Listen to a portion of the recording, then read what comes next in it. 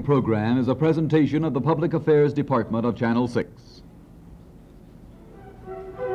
This is a baby born in Augusta this Thanksgiving week. Its parents are mighty proud of the little one. They have great dreams of what he may become and of the contributions he will make to mankind. We here at WJBF Channel 6 in Augusta wish for the child's success, vision, humility. We can well understand the pride this young couple has in their offspring. You see, we too are observing a birthday this week. On Thanksgiving Day, 10 years ago, a new industry, television, was born in this area. This was a first in a long line of television first for WJBF.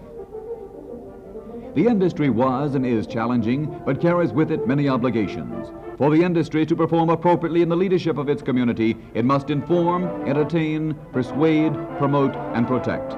We humbly assure you we will never forget these responsibilities. On this Thanksgiving night, we want to say thank you for allowing us to be guests in your home so often. Since you spend so much of your time in front of your television set, we felt you would be interested in knowing more about this station's history, in seeing a TV station and its employees at work. Since you're a friend, we invite you to visit our home, which exists to serve you.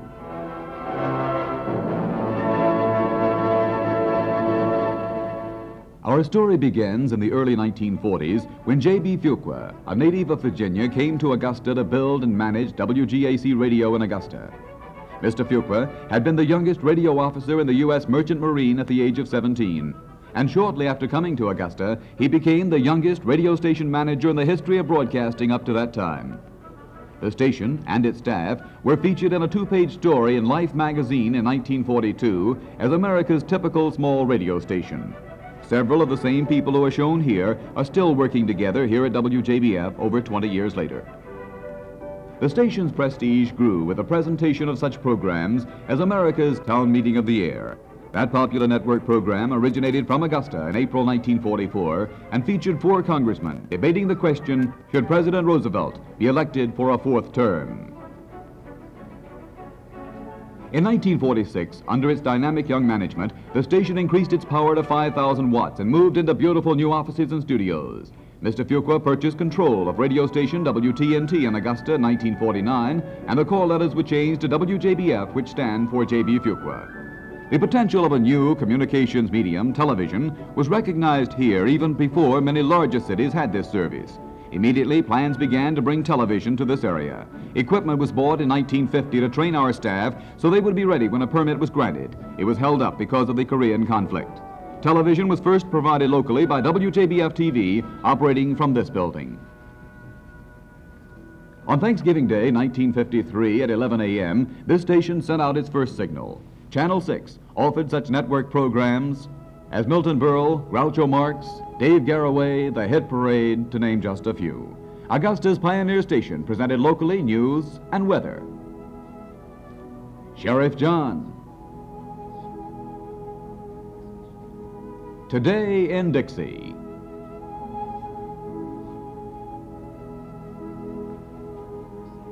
Cowboy Kent. Then, in the summer of 1956, a fire shooting flames a hundred feet into the air heavily damaged our facilities. Even though the damage was extensive, Channel 6 was only off the air a few hours. We operated from that shell for over 15 months longer while a new building was under construction. The new Channel 6 was built in downtown Augusta on Reynolds Street at 10th. Besides new offices and studios, a new 1,300-foot tower was erected. Typical of the leadership of WJBF, it was the tallest structure east of the Mississippi River at the time. WJBF began telecasting from this site in November 1957, and thousands visited us during open house in observance of the occasion. In the years that followed, Channel 6 continued to offer leadership in television service to the area.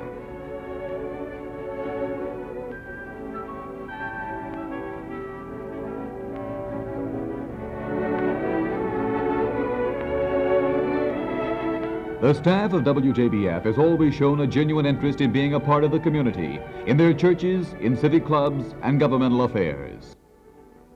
Here, the March of Dimes receives an assist.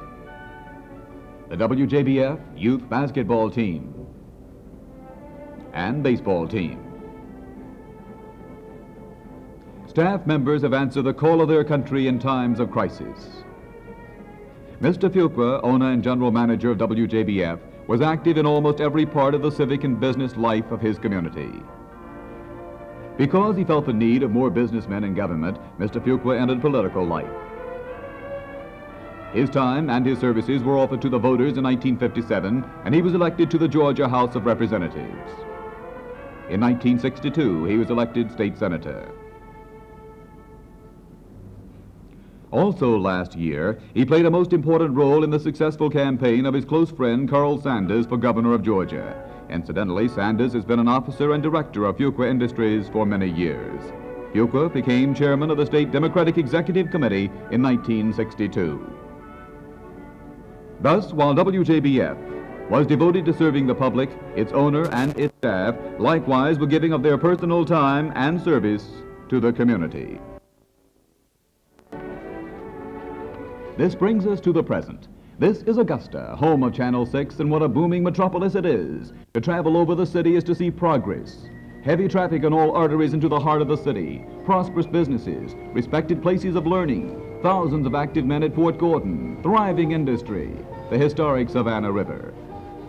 This is the Channel 6 coverage area. Our low channel number, maximum power, and tall tower enables us to serve 58 counties in Georgia and South Carolina. For many, it is the only television service they receive.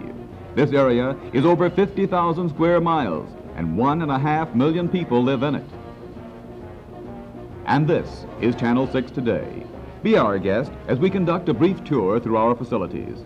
You'll find there are many more faces here than just those you normally see on your television screen. About 50, in fact.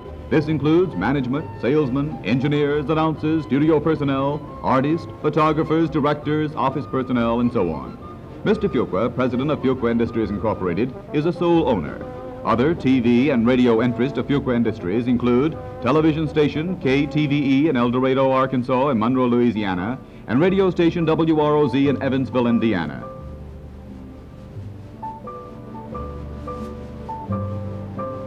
If you should visit WJBF, as thousands have done, you will be greeted by an attractive receptionist, Melba McClellan, in our lobby.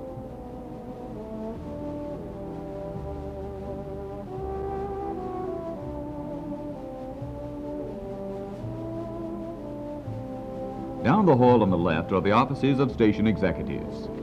This is Asa Stallworth, who has recently been elevated from sales manager to station manager. Tom Hennessy, who had held that position for several years, is now general manager of an affiliated business. Mr. Stallworth coordinates the activities of all departments, sales, programming, engineering, production, and is responsible for the operation of Mr. Fuqua's other broadcast interest. For a successful operation, all departments must function well. He is a graduate of Emory University and, like many of the staff, is quite active in community affairs such as the Kiwanis Club, Boy Scouts, and the United Fund. His secretary and Mr. Fuqua's, Mrs. Winona Warner, like the large majority of employees, has been with WJBF for many years. About half of our staff spend their busy day on the second floor. The sales department is vital to any business organization. This department is headed up by John Raddick as local sales manager. He has been with the Fuqua organization for 10 years. The advertising representatives contact the local and area business firms to sell commercial time. They present a program they feel will be most effective for the advertiser. In other words, they create and sell ideas. With each passing year, more and more of the advertising budget of American business is going into television. Why? Because businessmen have found this to be the medium that reaches the largest number of people and delivers the best sales results. This is Henry Drost in radio and television with WJBF for 14 years like a bulldog, but with a heart as big as the outdoors. The sponsor's interest always come first with Henry. Steve Manderson, 21 years with the organization. Like all good salesmen, he offers only the idea that can do the best job for a particular sponsor. Steve is also well known as an on-the-air personality and promoter. Bert Harbin, relatively new to the business. He has the ideas and personality a salesman needs and has now gained the experience that is so necessary. Another top salesman is Walter Campbell, a WJBF success story. When WJBF went on the air 10 years ago, Walter was employed as a cameraman while still in high school. Later, he became a director and learned all phases of the business. His imagination and initiative have made him most valuable in serving our organization. Betty Story and Norma Prepper in the Channel 6 Traffic Department have several responsibilities. They keep the salesman advised on time available to potential sponsors. They arrange and type the program logs or schedules which show the time and name of each of our daily programs and public service and commercial announcements. These ladies also maintain communication with the networks and national advertising agencies through the use of teletype machines which bring in messages from such places as New York and Hollywood. Replies can immediately be typed back to the originating point. I think you're aware that we carry programs from both NBC and ABC, in addition to local live programs, videotape, and film shows.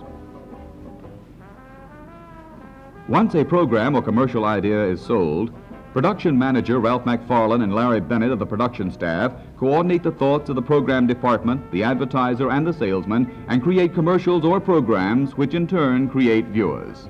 This means plans must be made for slides, art cards, film, videotape, sets, and so on. Originality is essential in production since so much production is consumed every day. Original programs and commercials are written here in the copy department by Gerald Levy and Ann Broughton. Gerald's degree in advertising from the University of Georgia comes in handy here. Much of the promotion for our programs comes from these two. They also check the program schedule and make up books containing scripts for all broadcast materials, such as the commercial, promotion, and public service announcements that will be used each day. While scripts are being written, those in art and photography are busy too. The ingenuity of Don Hatch is to be admired. Don is a graduate of the Art Institute of Pittsburgh. He uses his skill in design and composition for making up art cards, which are then photographed and made into slides. For most of our videotape or live art material, Don believes that if it doesn't move, it isn't TV. Therefore, through his imagination, special effects that add movement to his work are developed. Most of his ideas are trade secrets. Jim Cruson, like many at WJBF, wears more than one cap. He is a talented artist with brush and display, but also designs most of our sets for local programs and public service and commercial announcements. It is the duty of these men to make the picture on your screen refreshing and appealing. Buck Tyler in photography is called upon to make movies on location at the advertiser's business and for news and public service material. Movies are also made here at Channel 6. Buck can convert artwork into slides, and he processes all types of still pictures and movies in our laboratory. It only takes minutes for film to be processed here. It was he who made the film you're watching tonight.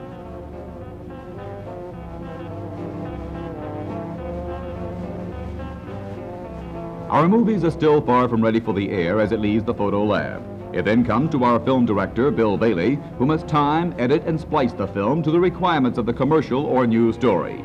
Since some of our programs are on film, they also must be timed and spliced. All movies are cataloged, filed, and previewed here. We move now into the Channel 6 control room where all the various elements we've mentioned, script, slides, film, artwork, videotape, and audio tape, are coordinated into an effective program or commercial or public service announcement. This is the bailiwick of the directors and engineers. Director Louis Summerall is at the control panel.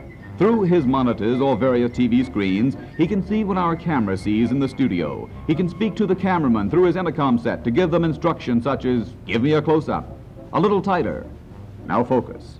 That's it. He can fade in and out of a picture or bring in a super, which is a picture or words over another picture like this. Once he's got the picture he wants, he can switch to that camera. Then he gets set for the next picture. The engineer's job is to make sure the quality of the picture and sound is as good as possible. If anything goes wrong, his technical knowledge helps him find the cause in a hurry. He also maintains proper control over color programs. Channel 6 was the first station equipped to transmit color programs.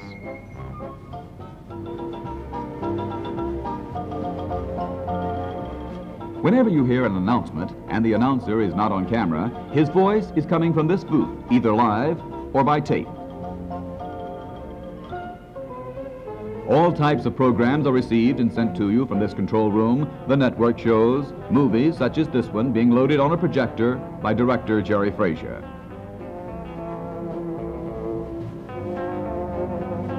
Live ones like this one being planned by another director, Don Kent.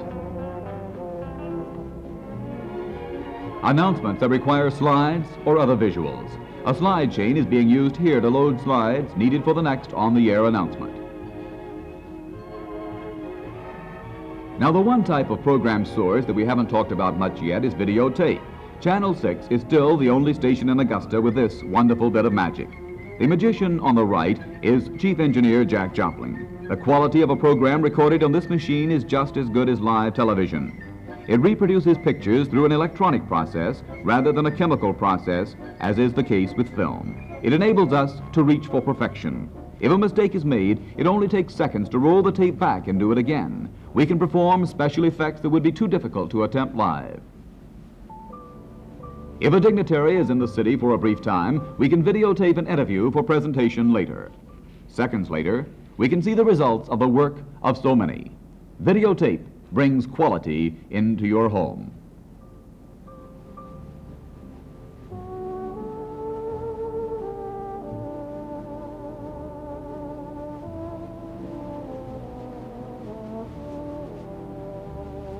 Most of the station's public service, the public affairs programs and announcements start their planning in this office, as does much of our promotion material. This station will never forget its obligation to supply a public service that informs, entertains, and educates its viewers. Special seasonal programs, election coverage, the opportunity to meet all candidates for elective office, and so on. These duties are the responsibility of the program director, your narrator, Carol Ward. You've heard the phrase, you get more news more times a day on Channel 6. Well, working to keep that statement true is news director Jim Davis. The authority of Jim's presentation have gained valuable prestige for the station. Our news facilities include United Press news and picture machines, which are operating 24 hours a day, which calls to mind that WJBF has Augusta's only seven days a week local news operation. Extensive coverage of local and area news stories is a daily feature, with many of these stories being reported and filmed by a most valuable member of our staff, Duke Flanagan. Weather and sports receive their share of attention too, as do shows designed for children and women. All of this on a daily basis. Any announcement or program originating from this station comes from this studio, equipped with all the needs of a successful operation. Studio manager Gray Mason calls the shots in setting up props, microphones, cameras, and so forth.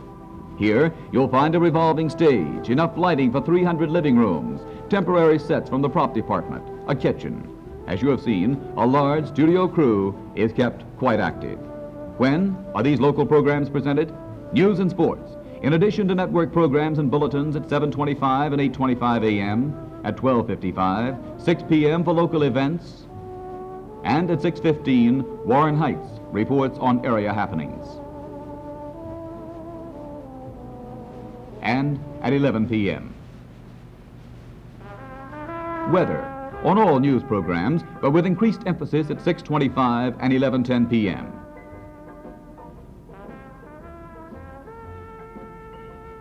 Woman's World, Monday through Friday at 9 a.m. Ann McKnight is our woman's editor. A program devoted to subjects relating to the woman at home, the woman herself, the woman outside the home, and the woman as a wife and mother. children's programs. Monday through Friday at 4.30, Terry Sams as Trooper Terry brings merriment to the young ones at home and those visiting with their hero. That camera and the child are the betrayers of the phony. We are fortunate to have the services of the trooper who has a deep, sincere interest in the youngster. Just as popular with the young at heart is Bwana John, the ruler of the jungle. The Bwana, John Raddick, has among his admirers his own four children at home. Bwana John is seen every Saturday at 8 a.m. There are always the special reports and programs such as this exclusive interview with Senator Richard Russell, or the concise and complete returns of all elections.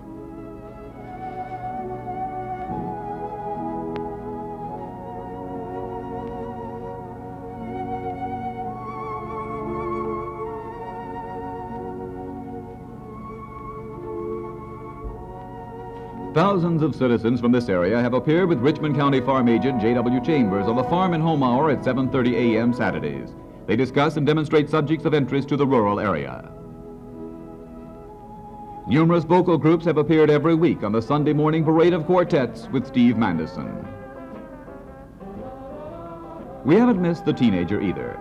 Now, well into its sixth year, is the Top 10 Dance Party seen every Saturday at 1230. The show has featured well over 10,000 high school students from throughout our vast coverage area. You can well be proud of the youth in our Southland. Each week there's a dance contest, games, prizes, guests.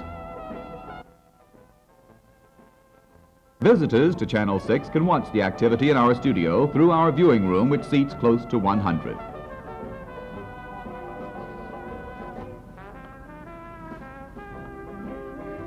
Many awards have been given to our station and to individual staff members over the years for public service activity. A typical top award came to the station this summer from the Georgia Department of Education for a special program presented on Channel 6. Staff members have served as presidents of such civic clubs as Sertoma, Lions, Civitan, JC's, Exchange. WJBF presents network programming of the highest caliber, offering you the choice programs of NBC and ABC. The daily schedule brings viewers a complete, well-rounded day of news and information, comedy, adventure, sports, and suspense. A new idea in television was started with the Today Show, seen each morning on Channel 6 complete informality setting the mood for interviews and special interest features. Bonanza, the story of the strong tie that binds a father and his three sons together in the lawless West, has also proved a long-time favorite. Lovers of the unusual and the mysterious unknown find spine-tingling thrill after thrill on the outer limits, while you, who enjoy detective stories in a pleasant offbeat manner, can enjoy Burke's Law on WJBF's outstanding schedule. Entertainment for the entire family is an important part of our schedule, and who could provide family entertainment better than Walt Disney? Or those wacky Flintstones? Or the widely acclaimed International Showtime?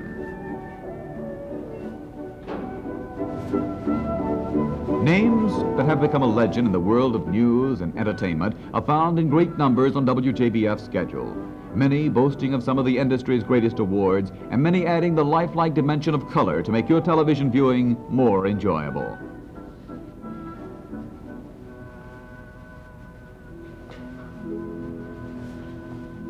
Channel 6 viewers write us thousands of letters every year, and we like to receive them. Betty Giddings sorts out a small amount here. Your comments on our program are always welcomed and considered. Your questions receive our replies. Fred Bailey gets that mail to the post office in a hurry. Those prizes for our contest, too. Now, all of these people find their jobs most satisfying, but they must pay their bills. So, on certain days of the month, here's the most popular man around, our treasurer, Donald MacDonald. Mr. Mack has been associated with us in radio and television for many years. He also is responsible for billing and offers financial advice to others in management. When all of these people have performed their duty and you see how one job relates to another, our television signal leaves our downtown location and by a microwave unit on top of our building is sent to our transmitter site in Beech Island, South Carolina, about 10 miles east of Augusta. Engineers at the transmitter make final adjustments to our picture and sound. From our tall tower, our maximum power and low channel number, it then comes to your home, and we hope you keep that dial on channel 6. Practically every home has at least one television set, and many homes now have several sets. The average American family spends six hours a day watching the television screen. We are available to you 18 to 19 hours a day, 127 hours a week, 560 hours a month. We take great effort to use all the ingenuity, careful planning, and scientific aids available to provide this tremendous volume of entertainment and information. We suffer some mental anguish and trust a bit to luck. But we always remember it's those like you and those unlike you who must be pleased. We feel this programming for every taste to be found in our schedule. Our efforts will be strengthened every year to come. That's our story, the story of Channel 6.